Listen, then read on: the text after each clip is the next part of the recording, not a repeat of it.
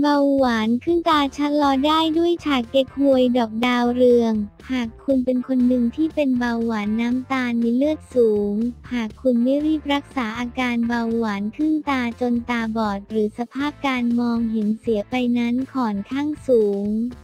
เบาหวานหรือโบราณเรียกโรคที่เกี่ยวข้องกับธาตุน้ำพิการ ต้องยอมรับว่าขอเป็นโรคที่หมอแผนโบราณเรารักษาได้ค่อนข้างง่ายและได้ผลดีมากกว่าการใช้ยาแผนปัจจุบันนะครับ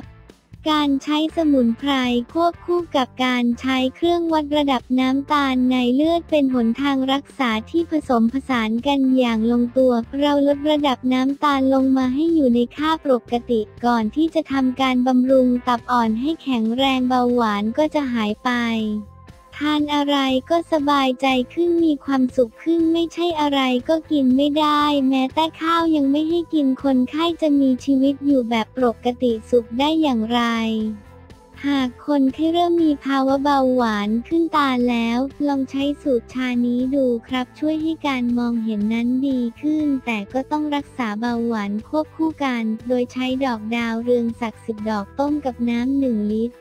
ต้มให้เหลือสักต่ำกว่าครึ่งมาหน่อยปิดไฟแล้วใส่ดอกเก็กฮวยลงไปสักหนึ่งกำมือปิดฝาทิ้งไว้จนอุ่นกรองเอาแต่น้ำมาดื่มก่อนอาหารสามเวลาต้มวันต่อวันนะครับ ต้มครั้งหนึ่งดื่มได้หนึ่งวันค่อยต้มใหม่นะครับ แชร์ได้ครับ